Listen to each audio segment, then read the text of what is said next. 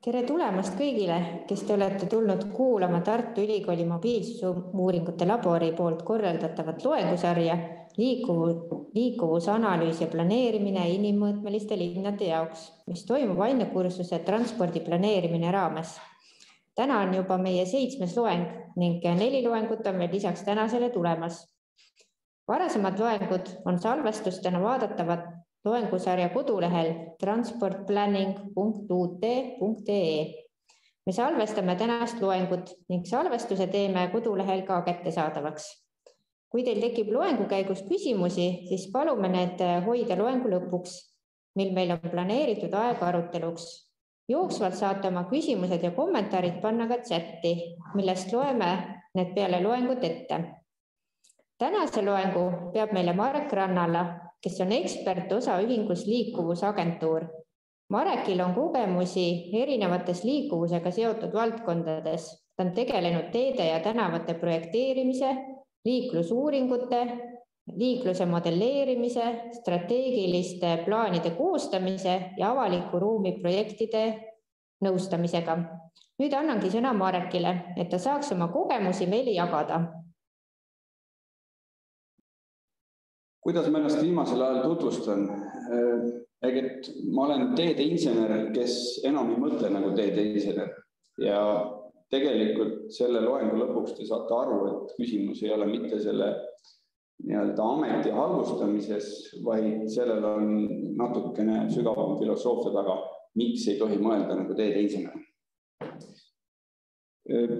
andmetest ja eriti veel mobiilpositsioneerimisest tegelikult räägin ma seekord suhteliselt vähe.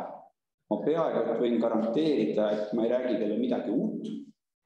aga ma loodan, et mõtted, mida ma räägin, on nii mõnegi jaoks uued ja see aitab teil tegelikult andmed ja sealhulgas mobiilpositsioneerimise, millega ma ise olen tegelenud, millega siin majas ja üldse Tartus väga palju tegeletakse see paneb sellesse konteksti, kuidas me päriselt saame neid kasutada inimmõõtmelise linna planeerimiseks.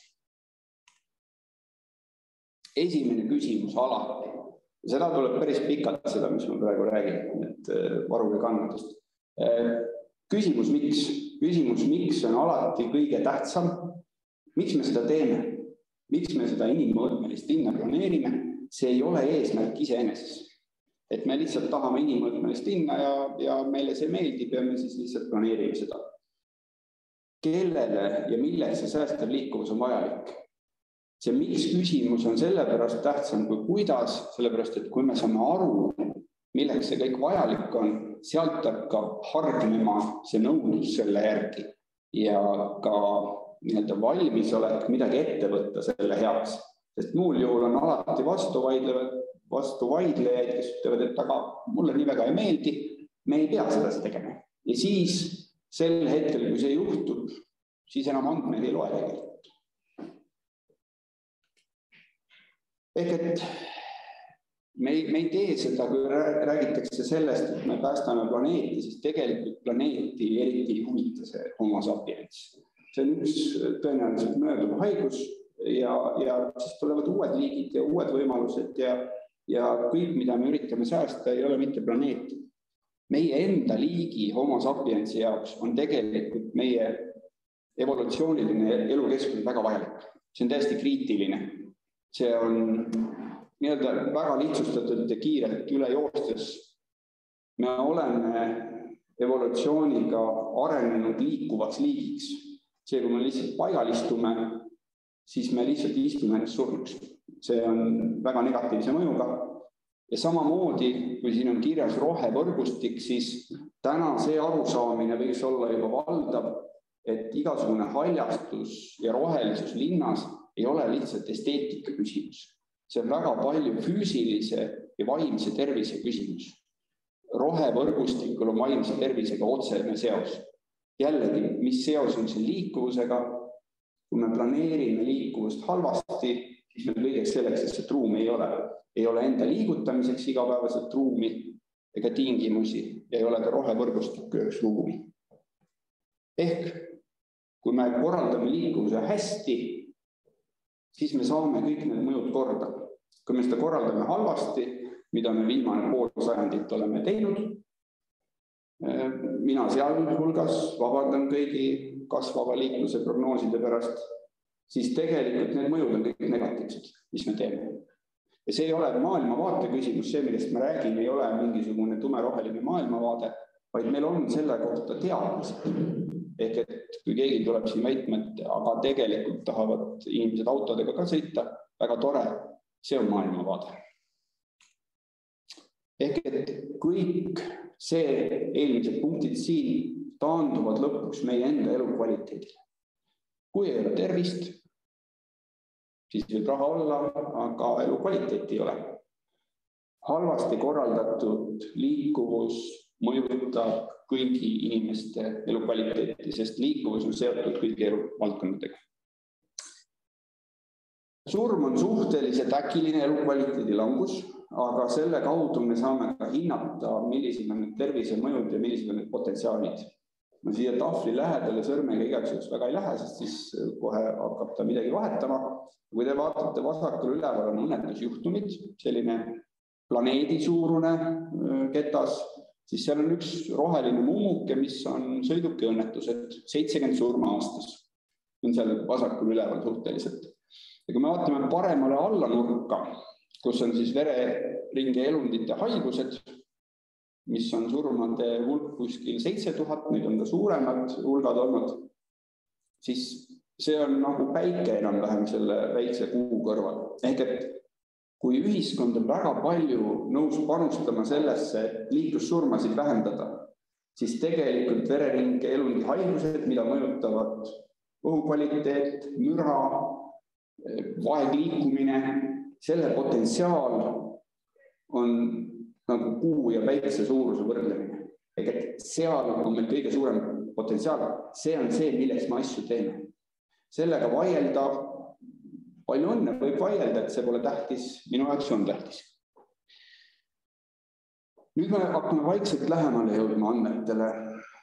no okei okay,, inimestel on vaja liikuda, et noh, et teeme siis linna äärde mingisugused pargid ja, ja mis see puutub nagu liikuvuse planeerimisse, siis jalgsi liikumist me ei saa planeerida samamoodi nagu autoliiklust. lihtsalt ei saa ja see ongi võib-olla see kõige suurem mõte, miks, miks ma ei mõtle enam nagu teedeinsener.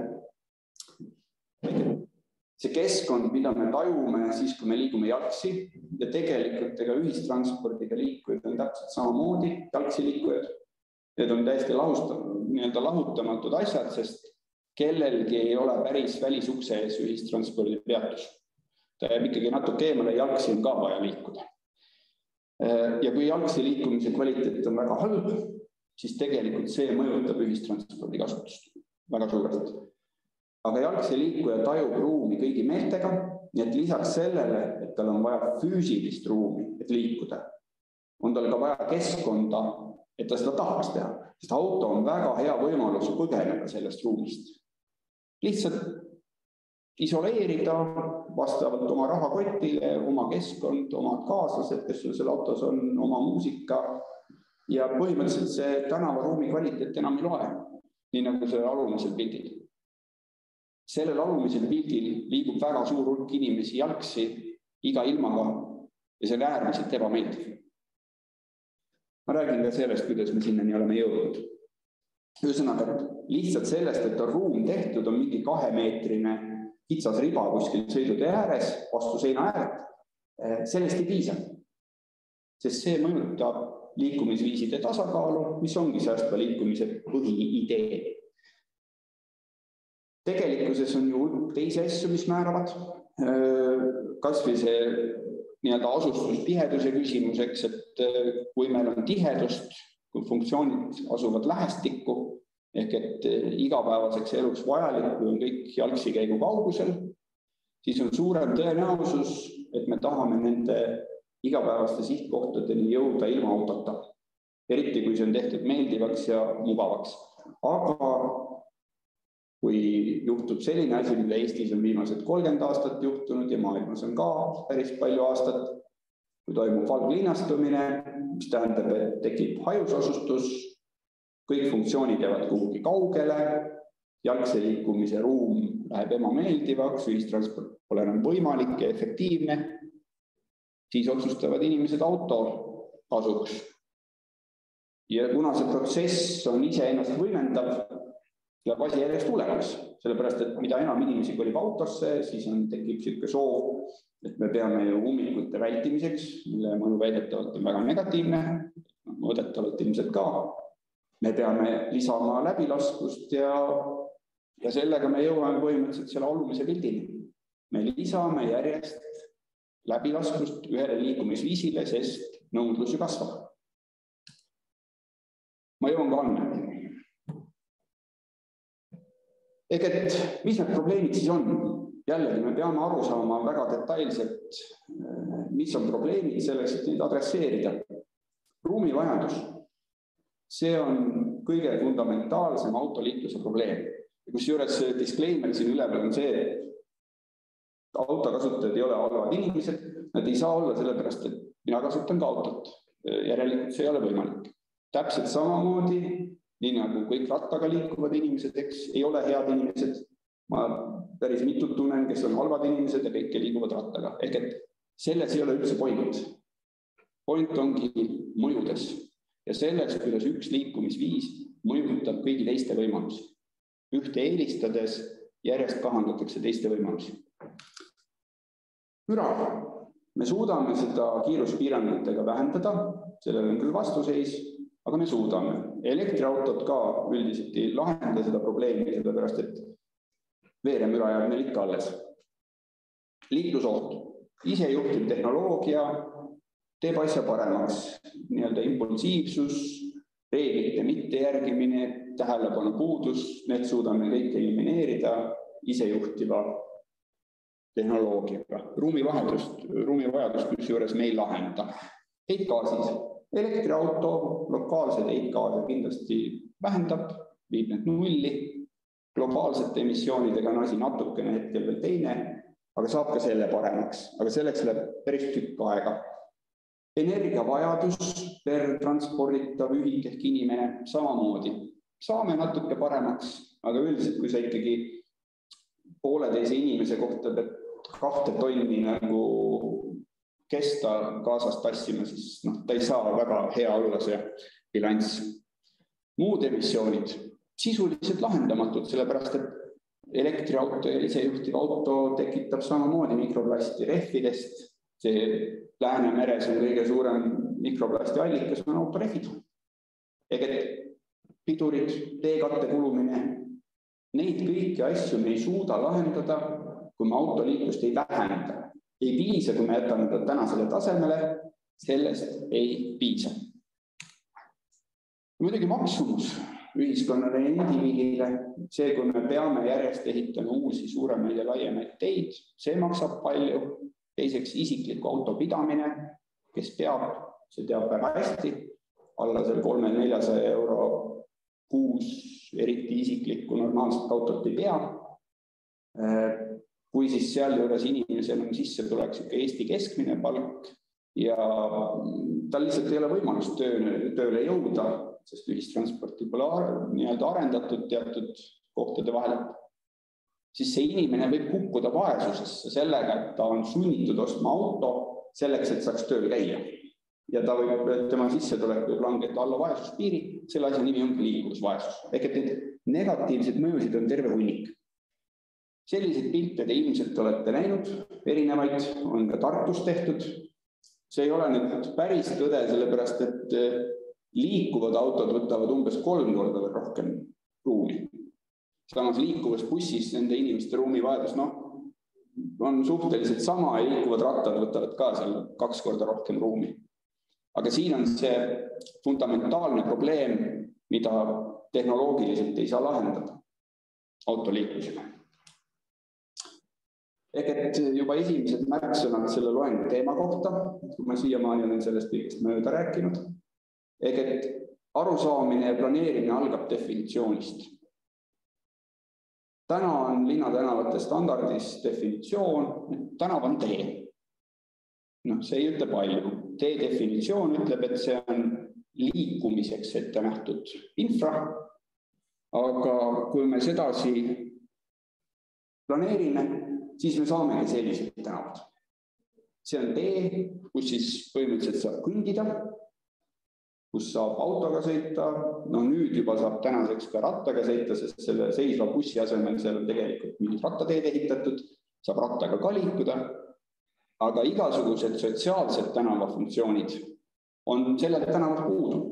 seal me seda loengut näiteks ei saaks pidada või kahekesi nurga peal seista ja juttu ajada see ei ole see koht, ometigi linnatänav on ju, seal ääres elavad inimesed, seal on ärid, seal on muid potentsiaale.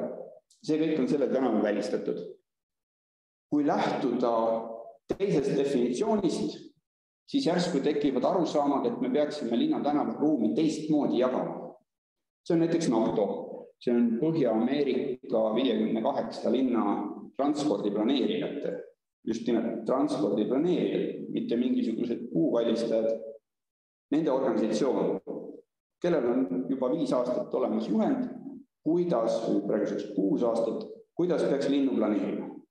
see ülemine pilt mulle miskipärast alati meenutab Tartu-Riia tänava algust. kuidagi väga tuttav ikka. ja see alumine pilt, ta selles mõttes on petlik, et seal on värvi ja, ja ta ei ole nii hall aga kui hakata neid kõiki elemente põhjalikult analüüsima, siis igal elemendil on oma tähtsus, miks asjad peaksid nii olema ja kuidas nad võimaldavad inimmõõtmelist linna planeerida. ehk et primaarne ei ole liiklus ja me ei tohi liiklust planeerida eraldiseisvana kogu muust elust. see on põhiviga, mida viimase poole sajandi transpordi planeerimine on teinud. ei tohi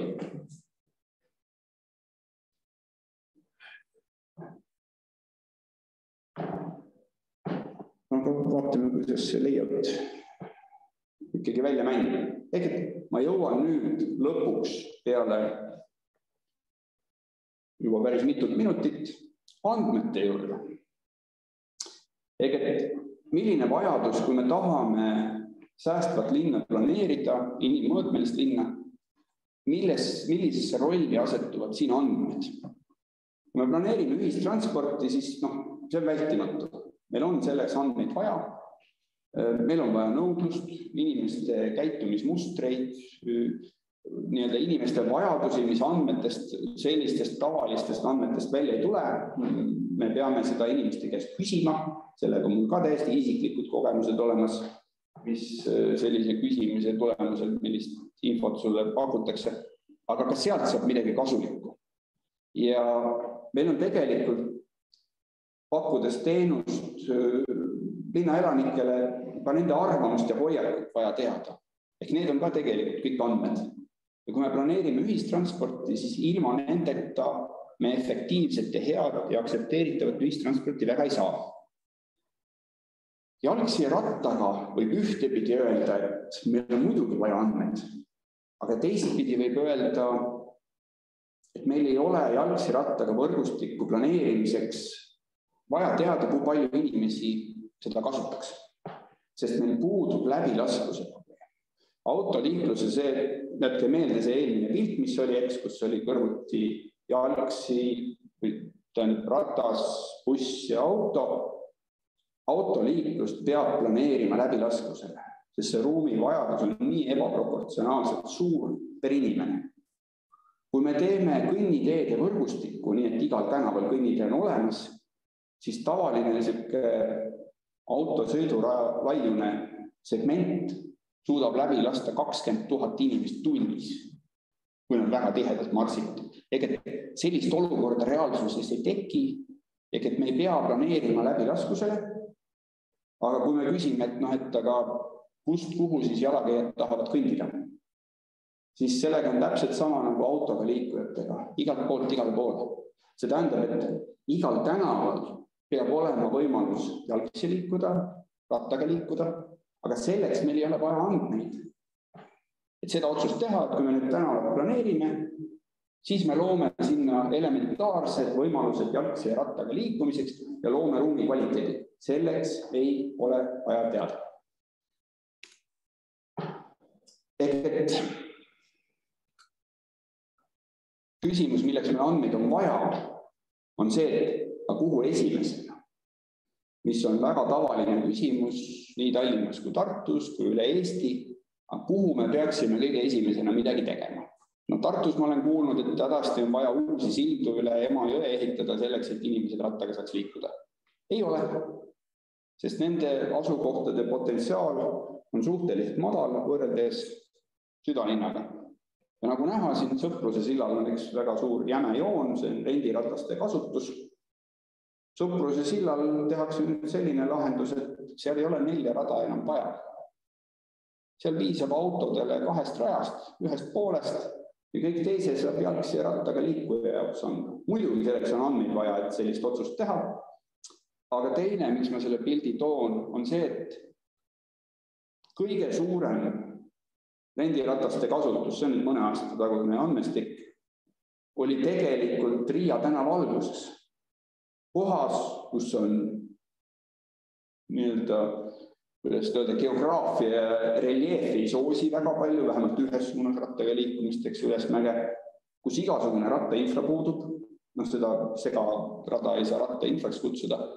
ometigi seal sõidetakse kõige rohkem, sest see on keskne koht Tartu linnas ja seal läheduses on ka igasugused laenutusvõimalused ehk et andmestik ütleb meile, et kui keegi üritab tõestada, et meil on hädasti vaja siin sildu ehitada kuhugi, mis maksavad väga palju, selle asemel teeme mitukümmend korda odavama rattaraja Riia tänava algusesse ja selle potentsiaal, me saame selle raha eest vastu rattakasutajaid väga palju kordi rohkem. ja selleks on andmestik vajalik, ehk et see praegu, mida te näete, on puhas andmestik. hetkel küll siis äh, rattarendi GPS logi andmed muidugi on andmeid vaja, sest poliitiliselt on niimoodi võimalik asju põhjendada.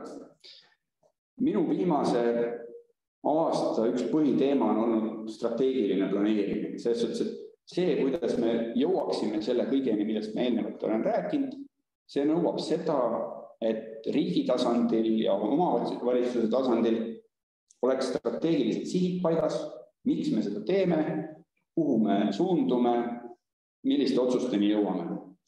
kuidas meil läheb sellega üldiselt? no kui te siin vaatate, need on kõik kehtivad asjad. see on riigi taseme transpordi ja liikuvuse arengukava, väga värske, kinnitatud, Riigikogust läbi läinud.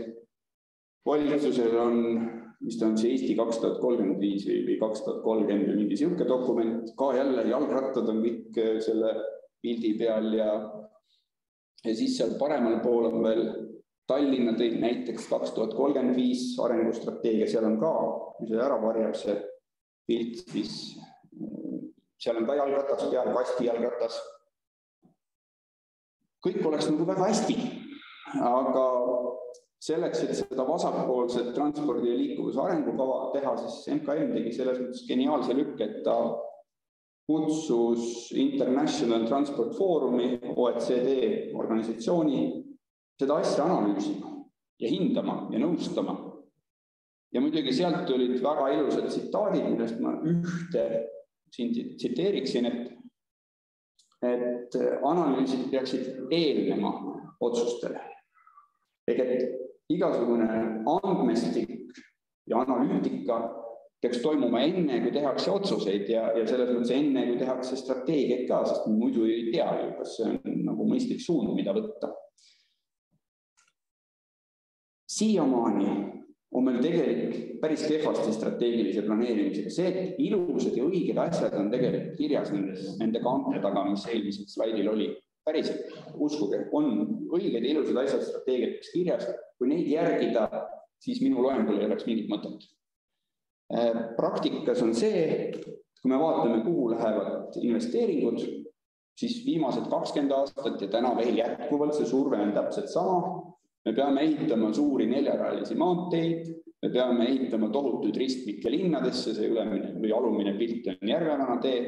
noh, Tartus on siin ka suur ristmik ehitamisel. me peame. kas on mingit analüütilist tuge, miks see vajalik on? ei ole.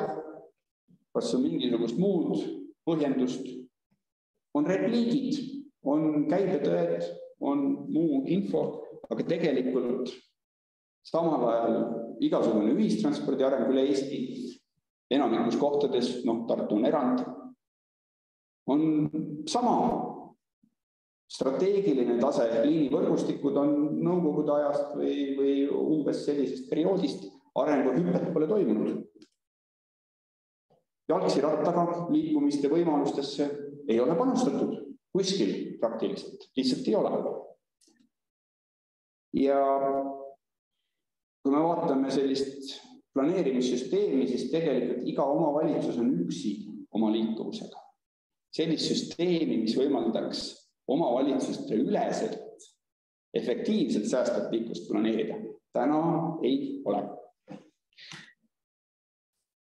kõige selle tulemus on siin graafikus. Ja see ei ole sellest, et inimestele meeldivad autod, vaid Eesti vanasõna väga tore on, mida külvad, seda lõikad. Ja inglise keeles predict and provide. Ehk et see on see mehhanism, mis viib selliste tulemusteni. veel kord jõuan tagasi andmete analüütika juurde. Ja ma lähen ka spetsiifilisemaks ja me jõuame ka mobiiliandmeteni andmed ja analüütika tegelikult ei ütle meile, mida me peaks tegema. Te kindlasti ei usu mind, ma jõuan järgmise slaidiga selle näiteni. ehk et tegelikult selleks, et jõuda säästva linna planeerimiseni, peame me need strateegilised sihid ise seadma.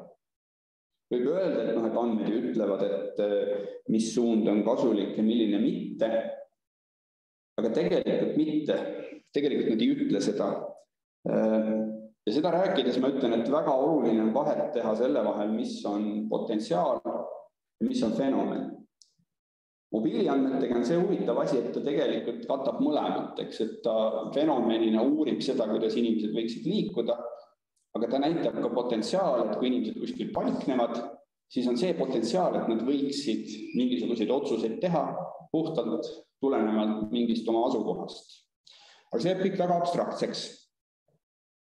minu väide on see, et kui sa võtad sama andmeseti, siis sa võid teha sellest samast andmesetist kaks vastupidist järeldust, täiesti vastupidises suunas.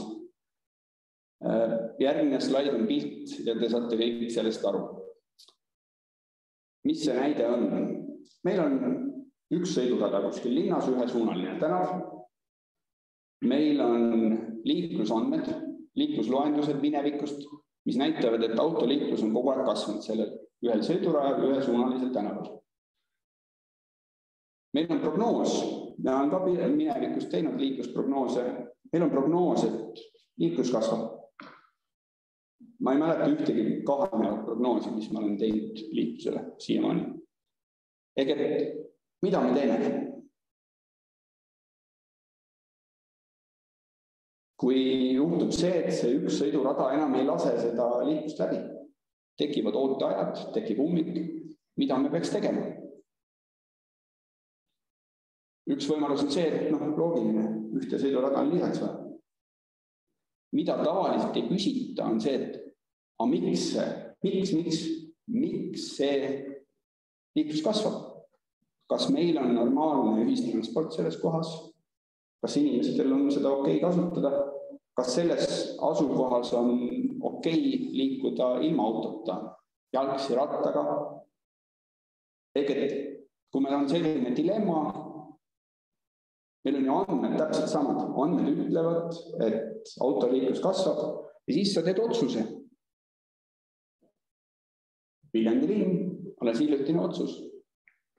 meil on ühte rada lisaks vaja, sellepärast et autoliiklus kasvab Viljandi suuruses linnas, kus on jalgsi ja rattaga liikumiseks ideaalsed nagu geograafilised eh, võimalused, küll reljeefi osas kõik nii hästi ei ole.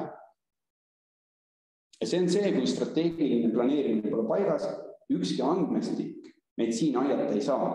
selles strateegiasse oli sinna kirjutatud, et me samal ajal arendame kergliiklust, noh, mida tegelikult ei ole olemas, see on niisugune väljamõeldud termin aga samal ajal me vähendame ooteaegasid ristimil. ehk et sul on kaks niisugust väga umbmäärast eesmärki, mille puhul sa ei teagi siis, et noh, et sul on sama andmestik, et kumma suuna sa võtad. tegelikult on täpselt sama kõigi andmetega. selleks, et andmed muutuksid relevantseks ja tähtsaks et sa aru saama, mis su enda strateegiline siht on. Tartust veel üks näide, jällegi ei ole mobiiliandmed. kolleeg Raul Kalvo tegi alles hiljuti Tartule parkimisnormi vähendamise analüüsi. kuidas oleks võimalik vähendada parkimisnormi? ja mida ta siis analüüsis, mitte seda, et kus, kui palju, mitte analüüsides fenomeni, et kus, kui palju keegi pargib, et noh, et selle järgi vaadata, et näete, siin on suur nõudlus ja siia peaks parkimist lisama ja seal ei ole nõudlust ja seal vähendame. tegelikult ta võttis andmed vajaduste kohta. kui palju on inimeste läheduses erinevaid funktsioone? lihtsalt sihuke naljakas parameeter, mis nad valisid koos linnavalitsusega välja, et et kui palju restorane on sul jalgsikäigu kaugusel kodust ja nad arvasid, et võiks olla neliteist tükki, et siis sa saad kaks nädalat iga õhtu erinevas restoranis käia. Sul peab olema kool läheduses, sul peab olema lasteaed läheduses, sul peavad olema toidupoed. see nimekiri oli seal väga pikk. loomulikult need on mõnes mõttes meelevaldsed äh, oletused, et mida sul on vaja igapäevaseks eluks. aga analüüs põhines sellel, ja analüüs tehti igast kinnistust kõigi nende funktsioonideni jalgsi ühistranspordiga rattaga. ja selle tulemusel selgusid alad, mis toimivad niisuguse tiheda alana, kus sul tegelikult ei ole vaja igapäevaseks eluks autot. Need on need kohad, kus saab parkimisnormi vähendada ja kes selle peale köhima hakkab, siis saab selgitada, et vaata, et auto on selles asukohas väga paljude jaoks valik, sa tahad autot järelikult sul ei ole vaja parkimisnormi kaks autot per elamuühing. see on konkreetne põhjendus, kuidas andmed võimaldavad ja analüütika võimaldavad strateegilisi plaane koostada. No siin oli natuke veel juttu. et lähtudes andmetest on võimalik koostada häid strateegilisi plaane selle kohta minu arust panid selle Arkisiga panid üles ka nüüd mingi tööriist, peaks isegi Tartu kodulehel olema selle jaoks. ja me jõuame strateegilise plaanimise juurest, planeerimise juures sellise juba operatiivtasandi planeerimise juurde, et kuidas siis see parkimine tegelikult mõjutab asju, miks ma just selle parkimise näite tõin, sest kogu seda säästvat liikuvust, mille ma eelnevalt olen rääkinud, mõjutab kõige rohkem parkimine. Siin on lihtsalt üks näide, kuidas aja jooksul parkimisnorm on muutunud, et kui mingi vanem maja, siis sealjuures tavaliselt seda parkimisruumi palju ei ole. aga iga uue linnatänavate standardiga on see ruuminõue suuremaks läinud, ehk et see takistab meil tiheduse saavutamist linnas, rääkimata veel valglinnas. ja selle mõju on kõige suurem ja kui distantsid kasvavad, ruumi funktsioonidele ei planeerita siis need funktsioonid ei saa ellu jääda, aga juhtub ka vastupidine. Nad jäävad elanikest liiga kaugele, mis tähendab, et inimesed on sunnitud liikuma, kuna vahemaad on suured ja ei looda sellist head keskkonda, siis on sunnitud liikuma autoga. Lisamõju on veel see, et ühistranspordi peatuse raadiusesse ei jää piisavalt inimesi, teenus ei ole efektiivne, väljumisi ei ole piisavalt, atraktiivsus langeb jälle kukub kõik, kogu konstruktsioon koost ära. ehk et äh, parkimine on üks suurema mõjuga ja kui me räägime valglinnastumisest, siis tegelikult valglinnastumise mõjud kumuleeruvad linnades. Elagu inimesed valglinnas, kui nad seal püsiksid, oleks kõik väga tore, aga kuna seal teenuseid ei ole kõigil nendel eelnevatel põhjustel, siis nad sõidavad kõik linna ja siin läheb kitsaks, siin tuleb see kolme liikumisviisi pilt jälle mängu. jälle seesama jutt, et autoliiklus hävitab kõigi teiste liikumiste võimalused. andmed, ma niisama ei jutusta, see tegelikult valglinnastumine on väga-väga suur probleem. Elanike arvu muutus on sellel parempoolsel ülemisel pildil näha, seal, kus on roheline ala, seal on kasvanud. Seal, kus on punane ala, seal on protsentuaalselt vähenenud. Ehk et sellega on hõivatud sellise perioodiga, igaks juhuks rohkem ei puuduta seda, tahvlit, et väga suur ala on hõivatud, see on hõivatud põldudelt, osaliselt metsamaadelt. ja mis asemele on tulnud, on hajus monofunktsionaalne valglinn, mis kõik võimendab autoliiklust, probleeme linnades. ja täna see surve ei ole mitte kuhugi kadunud, see surve on täna vaata et võimsam kui kunagi varem, sest lihtsalt elatustase on kasvanud, inimesed saavad rohkem endale lubada eramuid ja alumine pilt, see on lihtsalt Soome statistika, mis on järjekordsed andmed, mis näitab erinevate Soome omavalitsuste tihedust, see on siis horisontaaltelg. Ja need joone, vertikaalteljel on auto omamise protsent leibkondades. Ja need jooned on siis roheline on ühe autoga leibkonnad, sinine on ilma autota leibkonnad ja oranž on kahe autoga leibkonnad. ja vaadates neid statistilisi andmeid, tuleb see seos päris hästi välja. ja need on praktilised otsused, millest ma räägin. see, kuidas jõutakse siis lõppotsusteni, et hurraa, ehitame Nõo ja, ja Tartu vahele neljarajalise maantee, mis maksab väga palju, mille jaoks on väga palju ehitusmaterjali vaja, mille põhjendatus on küsitav aga kuidas see mehhanism toimib, kuidas jõutakse sellise otsuseni, et noh, hetkel võiks ju rääkida, et noh, et kas me parandame ühistranspordiühendust, et saame äkki palju paremaks selle, rong võiks sealt suunast teenindada väga hästi, sest tegelikult selline tee halvendab ühistranspordiühendust ja eriti kohalikke ühendusi, no siin juba see alumine lause ütleb selle kohta, et, et teatud elanikele muutub isegi ühenduvus halvemaks. kuidas selleni jõutakse? Aasta keskmine ööpäevaliiklus ja baasprognoos, mis ütleb, et liiklus kasvab. millel see baasprognoos põhineb, on see parempoolne ülemine graafik, mis ütleb, et Eesti autostumine on seotud majanduskasvuga ja no üldse kogu maailmas ja seetõttu aastal kaks tuhat nelikümmend on meil kuussada autot tuhande elaniku kohta. kui te võtate nüüd sellest tuhandest elanikust maha lapsed ja eakad, siis see praktikas tähendab seda, et igal keskmisel Eesti elanikul peaks olema oma isiklik auto. ma ei tea, kuidas teie siin panustate sellesse, aga mul vähemalt on leibkonna peale, vähemalt üks, aga noh, ma pean ilmselt siis veel lastele ja abikaasale ka soetama, et seda prognoosi nagu täita ilusti.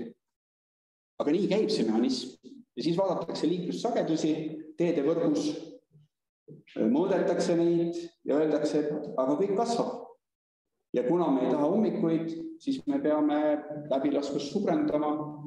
neli sõidurada on vajalikud ainult läbilaskuseks ja suuremaks kiiruseks, mis mõlemad töötavad kõigi nende ilusa kaanega strateegiate kirja pandud eesmärkide vastu. ohutuse jaoks on vaja lihtsalt keskpiiret. see ei loe, kas on üks, kaks või viis sõidurada. mis me siis saame teha? Lõpuks jõudsin mobiiliandmeteni ka, sest see oli point nagu nendeni jõuda. ehk et siin on Erki Positiumist on pannud lihtsalt ühe päeva oma mobiiliandmed Eesti teedevõrku ja näidanud, et tegelikult meil on võimalus seda natukene metoodikat arendades saada seesama info, mida muidu saadakse ainult üksikute teede kohta, kõigi teede kohta. iga päev, iga tund aastad järjest mineviku jaoks, noh, tuleviku jaoks veel ei saa. et see on natuke uus võimalus, eks, sest enamik selle eelmise pildi liiklussagedusi käib ainult riigiteede kohta. kui te vaatate, siis need jooned tegelikult lõpevad linnade juures, seal, kus toimub üle poole Eesti liikumistest, igasugune info puudub täielikult. Äh, kohalike omavalitsuste teede kohta igasugune info puudub, samas igapäevaselt tehakse investeerimisotsuseid selle kohta ja öeldakse, et liiklus kasvab, järelikult me peame midagi tegema. ühes mõttes mõlemal pildil olid ju ainult sagedused, eks, mingid ühikud teelõigu segmendi kohta. aga tegelikult vahe on sees, kui esimene pilt oli mingisugune aegrida, üksikute kohtade kohta ja seda veel mudeldatakse tihendada neid oletuste põhjal seda teedevõrgus, seda sageduste pilti, siis äh, tegelikult päris info on ainult riigimaanteede kohta, püsiloenduspunkte on ainult väga loetud arv, tehakse mingeid üksikuid voolikloendusi kuskil.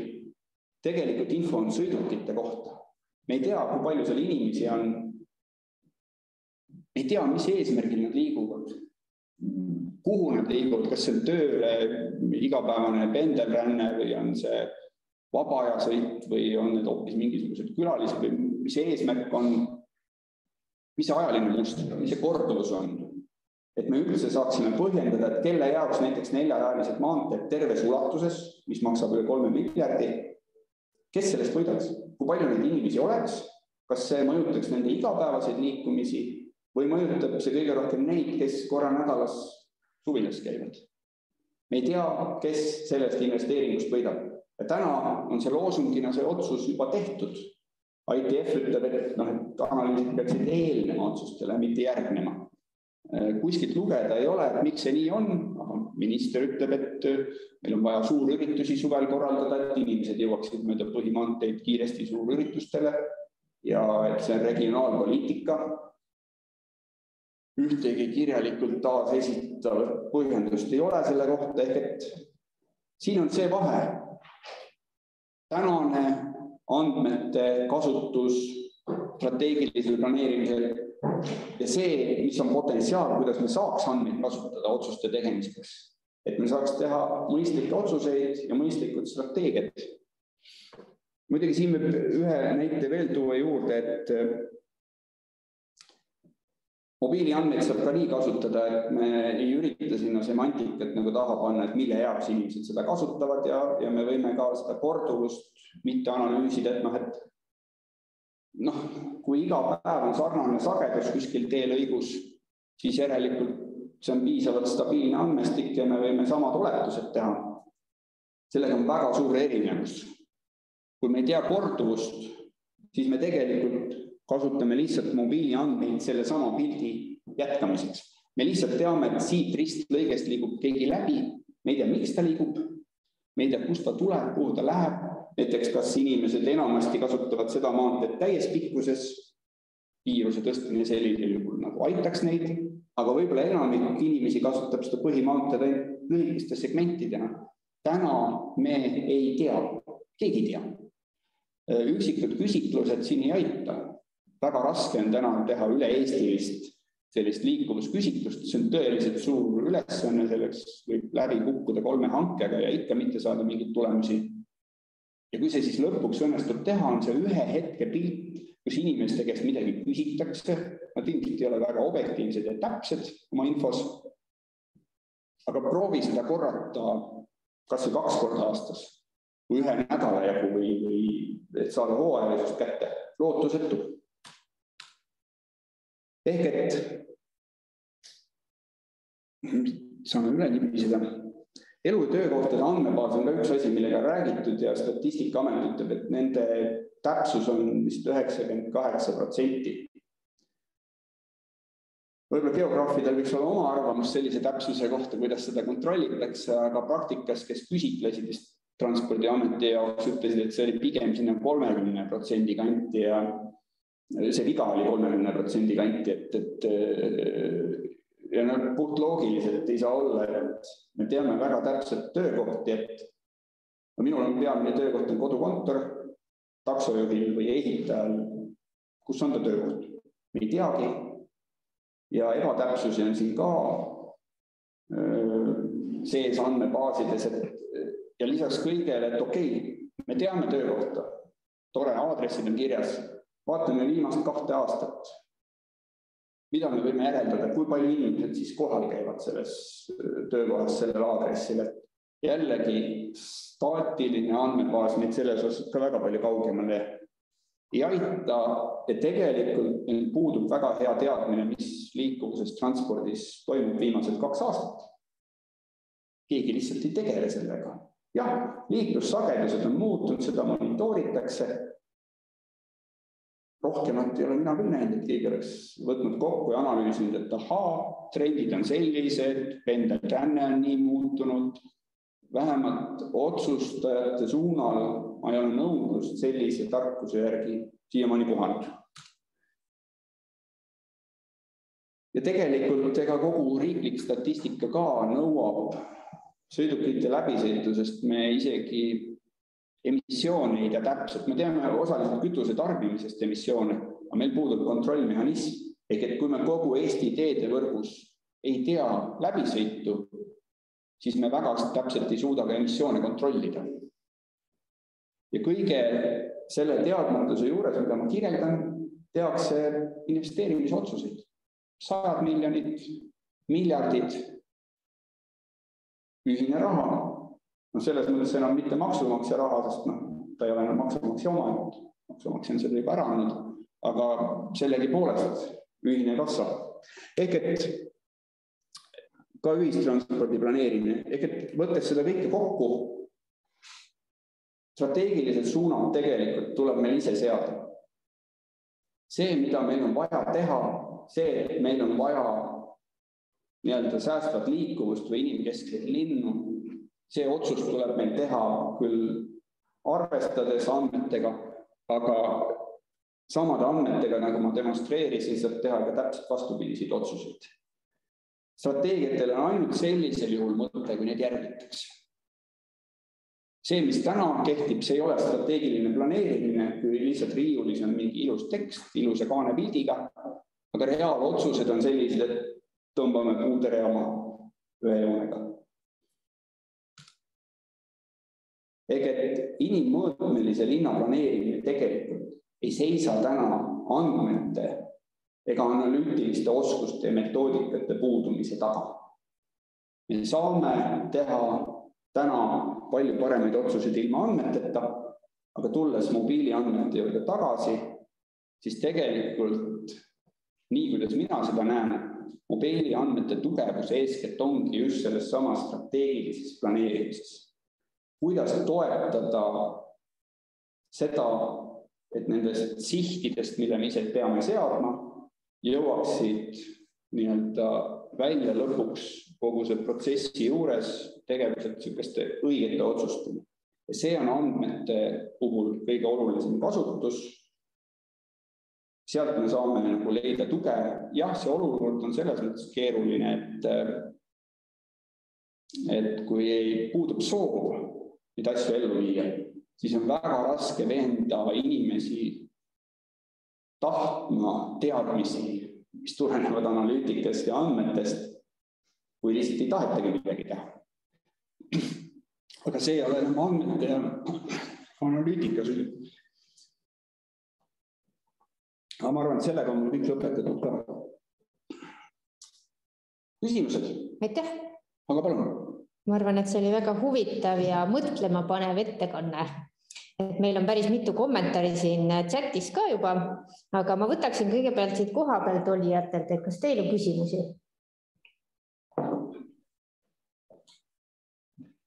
ja ma võiks küsida, et nii ühistranspordi kui autokasutusega on, on seda üsna palju, et, et noh, tegelikult hästi palju tuleb mängida laivi. Näiteks ma kujutan ette, et vanainimesed on üks hästi suur ühistranspordi kasutaja grupp. kui ühistransport ümber planeerida, isegi kui ta on optimaalsem, siis nende jaoks ta ei pruugi tunduda parem. sellepärast, et nende harjumuspärased rutiinid saavad sellega rikutud mingiks ajaks. nad on alates harjumuseks mm. -hmm. autodega ma tean, et Taani uuringus alandati liikumiskiirust, et ühte kaugemal olevat ristmikku punkti äh, seda läbilaskust parandada. seda tekkis siis veel tummikuid, tummikute kadumisel, kuigi kiirus oli madalam, siis läbilaskus suurenes mm. -hmm. küsiti äh,, kuidas neile tundub ja kõik ütlesid, et väga palju aeglasemalt läheb, läheb palju rohkem aega, kui mõõdeti, siis leiti, et paari sekundit tegelikult väga vähe. et see, eks see taju pool tuleb sisse. nüüd seesama lause seal, et andmed on meil olemas.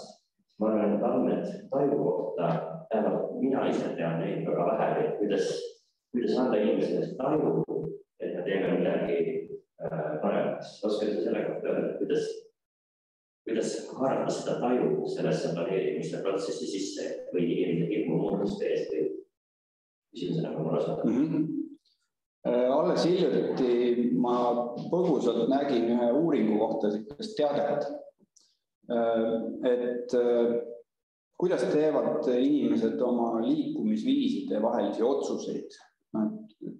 mis puhul on keegi nõus kasu, kasutama jalgratast. ja selles uuringus selgus, et inimeste veenmine selles osas on üsna mõttetu. inimesed hakkavad pooldama rattaga liikumist pärast seda, kui nad on ise seda proovinud ja nad on tunnetanud, et oh, sai parem. Ehk et mõnes mõttes see vastab sinu küsimusele, kuigi see sulle hetkel ei pruugi tunduda. Äh, me võime teha igasuguseid asju, mis on väga head ja efektiivsed, inimesed tajuvad neid ikkagi täiesti valesid, näiteks mina sain alles sel aastal sain siin äh, jaanuaris sain kõne ühelt Tartu proualt, kes ütles, et mina isiklikult keerasin kõik Tartu ühistranspordi tuksi. meil võib statistika näidata, et kasutus on parem, palju rohkematele inimestele sobib temale isiklikult ei sobi.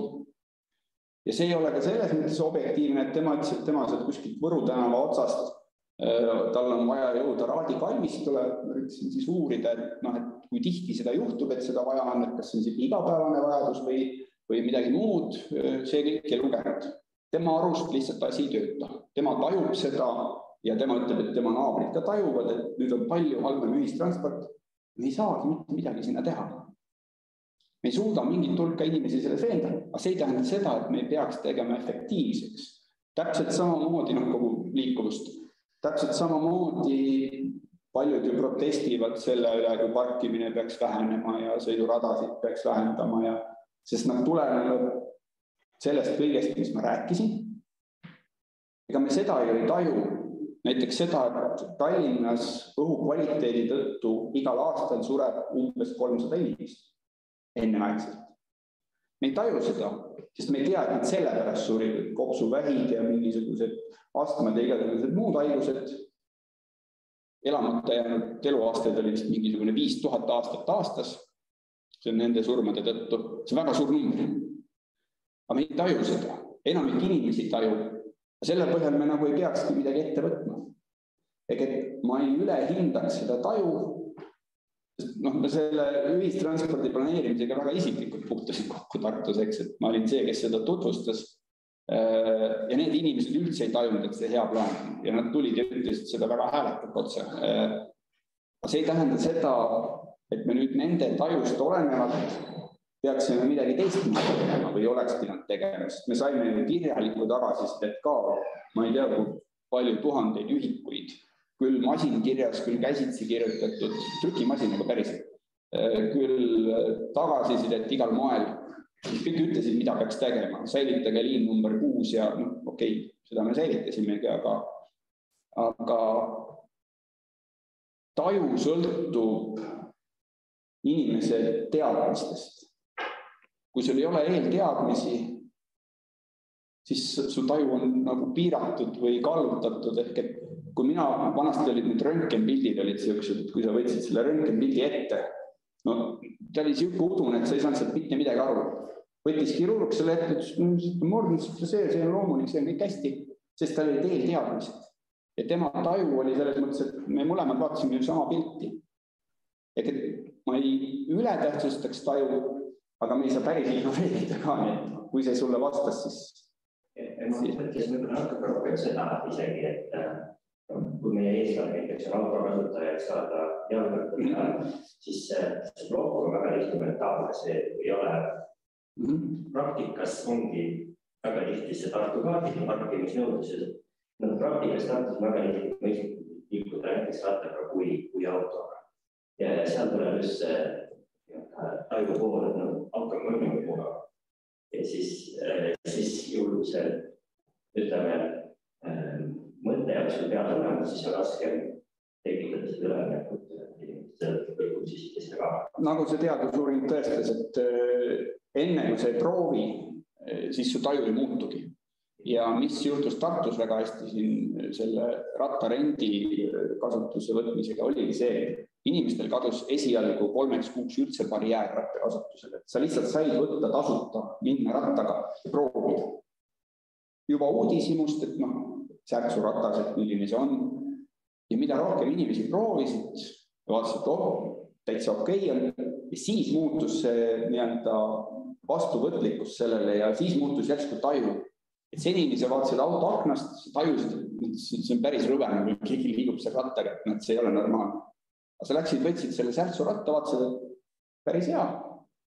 olen alati arvanud, et mulle meeldib rattaga liikuda ja siis tekivad need muutused ehk et taju niisugust objektiivset taju ei ole, see sõltub taustsüsteemist ja hoiakutest. aitäh, väga huvitav diskussioon. Et kas teil on veel küsimusi, et kõigile, kes virtuaalselt osalevad, et võite anda ka käega märku, kui, kui teil on küsimusi tekkinud ja saate otse Mareki käest küsida.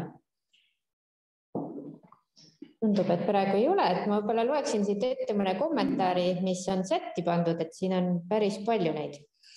esiteks, et äh, Roosaare on küsinud või tähendab kommenteerinud, et jalgsi ja rattaga läbilaskmise probleem on paljudel kergliiklusteedel juba praegu.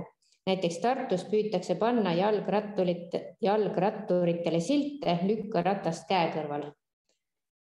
Ehm, see tuleneb sellest, et kergliiklust ei ole olemas. Ehm, soomlased leiutasid selle termini, nad ise väga vabandavad selle pärast ja süüdistavad rootslasi, et rootslased olevat leiutanud aga praeguseks on strateegiates soomlased lõpetanud kergliigene termini kasutamist.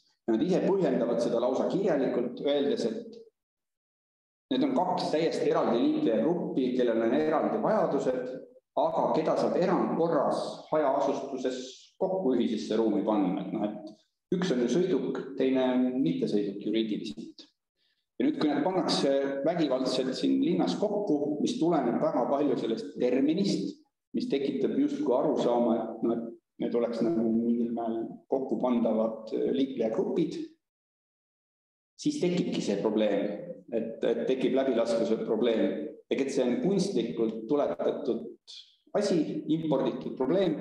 täna on Eesti ainuke riik maailmas, kellel selline termin on me oleme ainuke keel ja ainuke riik. tegelikult kasulik oleks sellest äh, kahjulikust terminist loobuda, aga tegelikult Tartu täna väga tugevalt planeerib äh, reaalset rattainfrat. ja kui me selle normaalselt ehitame rattainfra, siis ma väga loodan, et me suudame tekitada rattaummikude läbilaskuse probleemi, aga selleks peab väga pingutama, et seda nii kergesti ei juhtu võib-olla sa tood siis näite sellest definitsioonidest, et, et kuidas siis nimetatakse eraldi jalakäijad ja ratturid või on mingi ühine termin aktiivse liikumise kohta või? Need on kohmakad terminid, aga põhimõte on selles, et äh, noh, meil ei ole mõtet nagu mõelda sõiduteede ja raudteede kohta ühist terminit ratasliiklus, et noh, et mõlemad on ratastega, eks, ja, ja me võiksimegi teha siis ühise liikumisruumi rongidele ja autodele, et noh, et täitsa okei okay,, nagu mõlemad on rattaga ja saavad liigutud. me ei tule sellise asja peale. ja see tähendab seda, et me võiksime rääkida eraldi kõnniteedest, rattateedest ja mingitel juhtudel, kus nad sobivad, jalg- ja jalgrattateedest. see on hästi kohmakas termin. aga see mõtteviisi seisukohalt on väga tähtis me need kaks asja hoiaksime mentaalselt väga korrektselt lahus, sest siis selliseid probleeme ei teki. võib-olla üldise liikuvuse lahenduste peale mõeldes jällegi see inglisekeelne termin active travel active transport, äh, mõtle nende mõjude peale, mille peale me, kellele me liikumisruumi äh, nagu planeerime ja millist liikuvust me tahame edendada, siis me tahame edendada nii ühistransporti, jalgrattaga sõitu kui ka jalakäimist ja neid kolme tegelikult sageli pannakse active travel alla. tahame, aga igaühe jaoks me peame tegema eri, eri asju. et see, mida me teeme nii-öelda rattaga liikuja jaoks, siis ühistranspordi jaoks on enam-vähem samad asjad kattuvad, sest sa pead selle terasest kasti peal kuidagi jõudma ja sa jõuad seda mööda kõnniteid. et need on väga paljuski samad asjad ja sa pead hoolitsema selle eest, et see ühistranspordi terasest kast samal ajal ei muudaks ebameeldivaks selle terasest kastini jõudmist. et need on ka alati need kaalutluskohad mm. -hmm. meil siin chat on väga aktiivne. väga tore, kui meil aega on, siis et on tekkinud, praegu veel on siis on kommentaar samalt äh, osalejalt, et äh, valglinnastumine on Eesti oludes positiivne, seda tuleb planeerimisel arvestada, mitte selle vastu võidelda. selline kommentaar. ehk et see on see juhtum, kus andmed ja analüütika ei loe, et kui me teame nagu, mis selle asja mõju on ja ebaefektiivsus ja, ja põhimõtteliselt valglinnas sa ei saa ühistransporti korraldada. valglinn on enamasti autokeskne, näidake Eestis ühtegi teist erandit, et selle autokeskse planeerimise mõjud, see kõik ei loe. kui me sellest lähtume, siis muidugi, aga siis on see, kuidas me saame kõiki neid tervisemõjusid ja sotsiaalseid mõjusid ja kõike ignoreerida, et noh, minu jaoks kõlab see nii absurdselt, et ma ei oskagi rohkem vastata sellele. Eesti, Eesti on nii hõredalt tasustatud, on küsimus ainult üksikutest Tallinnas ja Tartus. võtame, ma ei tea, neljarajaline maantee on hea ja valglinnastumine on hea, kui me selle võtame lähtekohaks, siis see on juba maailmavaateline küsimus, mitte enam andmetest ja analüütikast lähtuv, sest andmed ja analüütika ütlevad, et see on väga-väga halb idee. mul on tunne, et seesama kommenteerija soovib ka diskussioonis osaleda, saan ma aru? tähendab, ma pikalt ei taha, tõesti, see on osaliselt ka maailmavaateline, kogu küsimus on see, et Eesti on niivõrd hõredalt tasustatud, et, et kuidas öelda, võtame Tallinna ja Tartu, mis tahavad ühte asja ja kogu ülejäänud Eesti ja, ja rääkida Eestis. ühistransport. kohe püüame lahendada. siit siis. nii, nüüd me vist kuuleme. ei, me ei kuule, ma arvan et see küll pole eesmärk, et me ei kuule, aga. Ütleme, et meil on jäänud see testimata täna. kahjuks vabandame, aga praegu võtame siis järgmise äh, kommentaari, et täna peavad kõik küsimused meile chati tulema, et siis me äh, virtuaalselt ei saa teie küsimusi kuulda aga siis kommentaar oli veel, et täielikuks liikuvuse teadmiseks tuleb kõigile sõidukitele paigaldada GPS-id. Tehniliselt pole probleemi, praktiliselt on asi poliitilise tahte taga. selline kommentaar ähm,. tänu sellega, tänu sellele, et siin majas on väga palju mobiiliandmetega tegeletud, siis siin majas on teadlikkus privaatsusest päris kõrge. kui me nüüd tekitame selle, et igal autol on GPS küljes väga suure täpsusega andmestik tiksub, siis seal tekivad need küsimused esmalt. Teine pisiasi, mis on ka, on see, et kõik sõidukid, mida on Eestis kuskil kuuesaja tuhande kanti, kui me mõtleme seda, et üks GPS, mingisugune seade, mis peaks siis kommunikeerima, mingid SIM-kaardid, mingid andmesided, kõik asjad, no sadakümmend eurot võiks olla see maksumus, me saame juba ise kuuskümmend miljonit kogu selle seadmestiku maksumuseks. kui me sealt mingit maksu kogume, siis me päris tükk aega peame koguma, et esiteks need seadmed nagu tagasi teenida. aga kõike seda saame teha ilma selle GPS-ita ka no,. Siin... selleks, et seda ristlõiget, et seda tänava ristlõiget nagu paremaks muuta, meil ei ole vaja GPS-i täpsusega iga sõiduki asukohta. ehk et noh, kuidas ma tulen ringiga veel lähemale sinna, et loeb see, mis on tähtis. tähendab, sa mõõdad seda, mis on tähtis. ehk et kui me hästi täpselt hakkame nüüd mõõtma iga sõidukit, siis me keskendume, nagu me oleme viimased viiskümmend aastat keskendunud sõidukitele. aga tegelikult me ei taha ju sõidukitele disainida linnu ja maanteid, vaid me räägime täna inimkesksest linnast.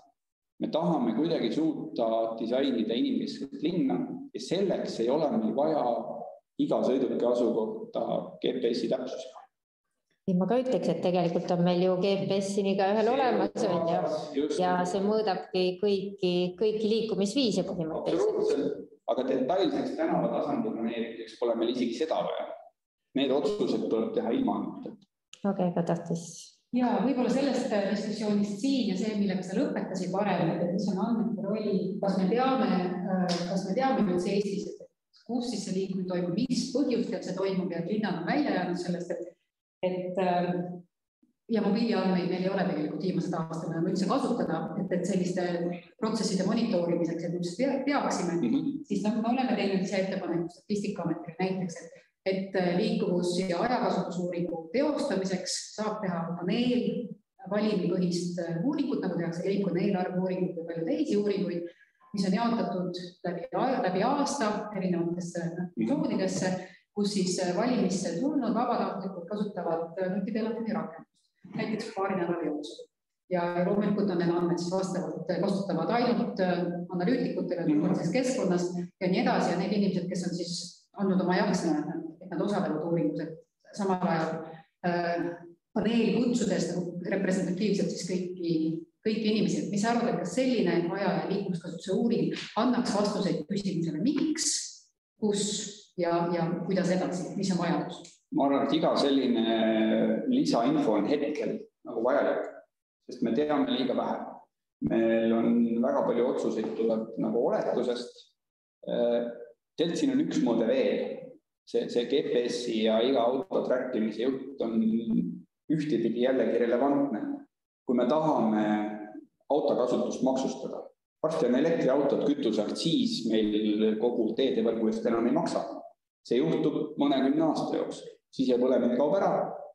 Kust me aktsiisi asemel uue sissetuleku saame, siis meil põhimõtteliselt tekib vajadus iga sõidukit track ida. meil see vajadus tekib, aga hetkel hakata seda nagu igasse autosse ostma, see maksumus on nii suur, et me teenime kogu seda riistvara tagasi, sest lisaks igas autos olevale GPS-ile meil peab olema mingisugune võrgustik, mis kontrollib, et kas igas autos, mis sõidab, on see GPS sisse lülitatud, et sealt ei ole juhet tagant ära tõmmatud või fooliumi peale pandud see soov on kindlasti olemas paljudel, kes ei taha, et, et nende elu jälgitakse ja nad peaksid maksu maksma teekasutuse eest, et, et see on päris keeruline teema ja see meil ühel hetkel tõstatub samas uued autod on niikuinii juba igatpidi ühendatud, et. see ei ole isegi mitte praegu ainult autode kasutamine. aga see on see, mis, millest sina rääkisid, on üldine liikuvus ja see, ma arvan, et see minimaalne, me noh, siin hiljutisest Transpordiametis nii-öelda kogemusest oli näha, et kolm korda kukkus küsitluse korraldamine läbi. lihtsalt ei saanud valimid kätte, et, et, et saaks küsida ja see on ikkagi ühe mingisuguse fragmendi, ühe ajahetke, ühe killu salvestamine üle Eesti ikkagi väga väikse valimiga, võib-olla see, kas see paneel on kõige õigem, see valim ka väga väikseks, aga ta on vähemalt objektiivne, et inimesed ise ei oleta, et ma käin tööle vist kolme kilomeetri kaugusele, tegelikult käib kahe või viie kilomeetri kaugusele ja, ja, ja ei tajugi, et ta ei käi iga päev, vaid ta käib kaks korda päevas, et noh, et need on need probleemid. aga kelle hallata selline andmete kogumine Eesti riigi tasandil siis tegelikult on ja kas sa näed sellist toimivat mudelit? ei ole, täna ei ole ühtegi toimivat mudelit.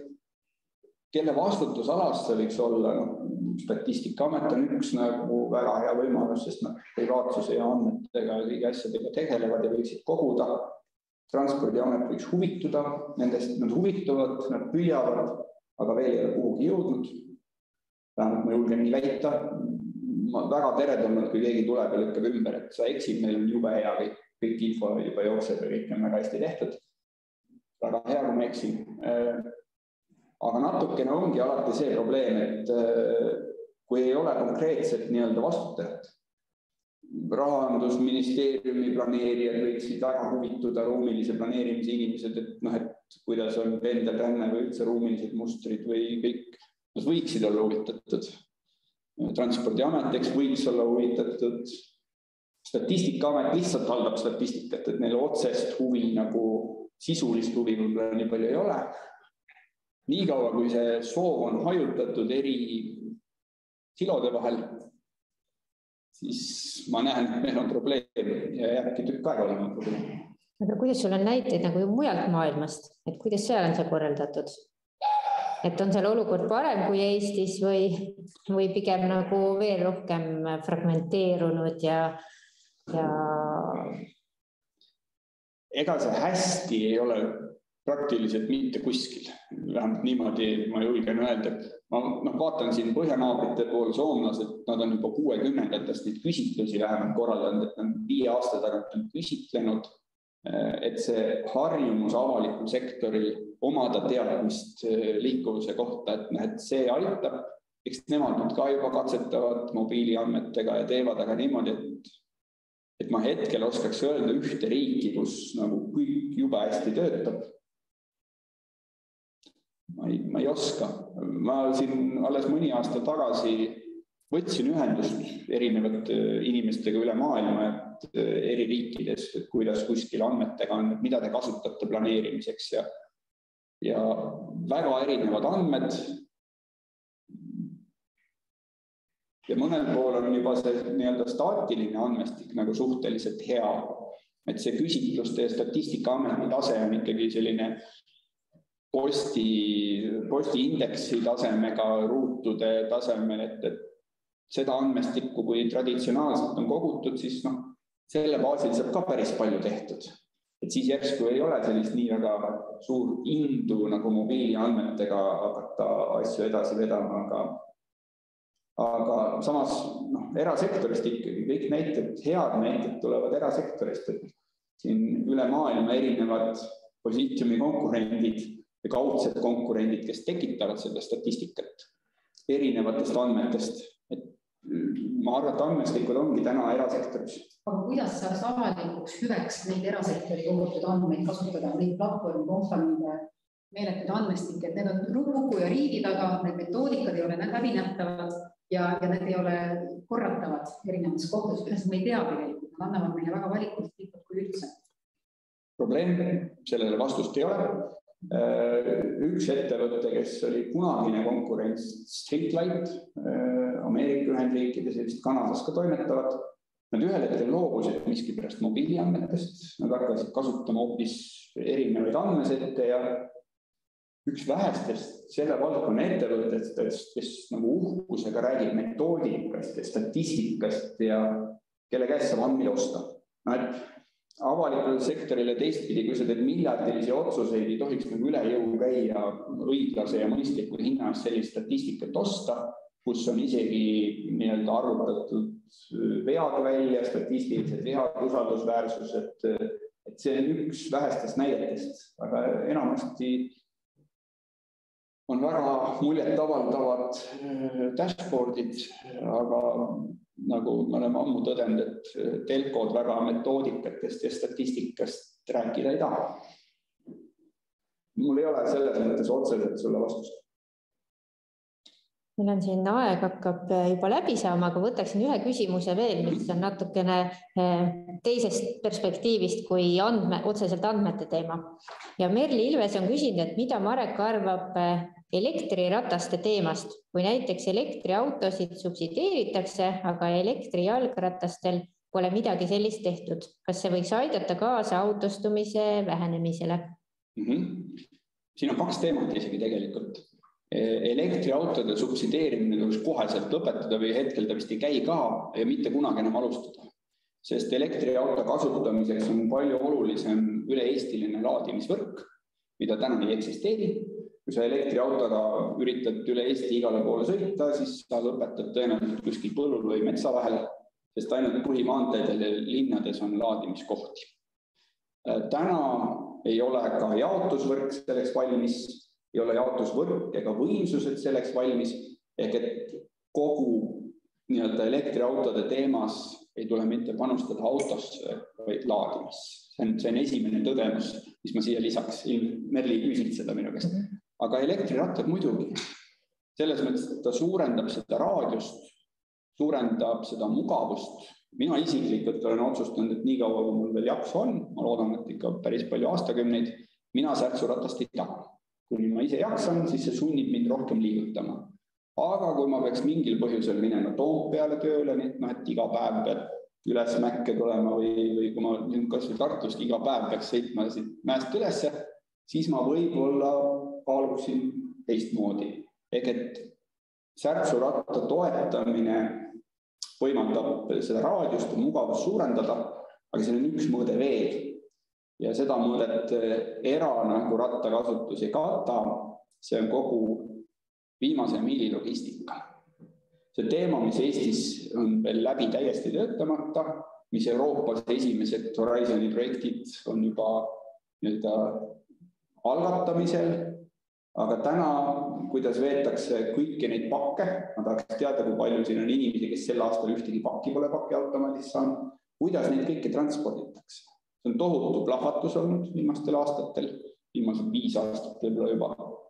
see kasvab veel tohutult ja täna veetakse neid laiali valgete kaubikute ja valgete veoautodega, mis kõik töötavad diiselmootoriga ja nende asendamine elektrimootoriga ka väga palju ei aita.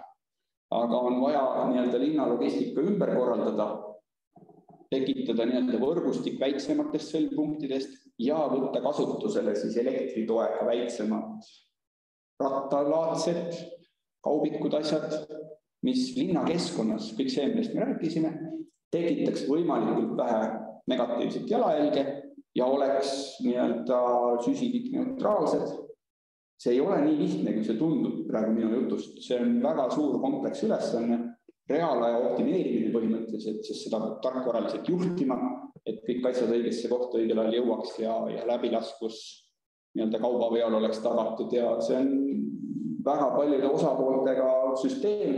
Ja vaat seal on elektriratta roll väga tähtis. see muidugi eraisikutel võiks ka olla eeskätt just kaubarataste soetamine. Noh, esimene jutt alati autost loobumisel on see, et ahhaa, noh, sa võid rääkida, sul ei ole väikseid lapsi. noh, et kui väiksed lapsed, siis peab auto olema. ei pea, kaubaratast piisab Tartu suuruses linnas. siin on näiteid päris mitu tükki, enda sõbergi aastaid kaubarattaga oma lapsi vedanud, kui vaja, siis ämmaga. aga, aga see on see koht, kus see, mida Merli küsis, aitaks väga palju, et inimesed saaks endale kaubaratta osta aga aitäh.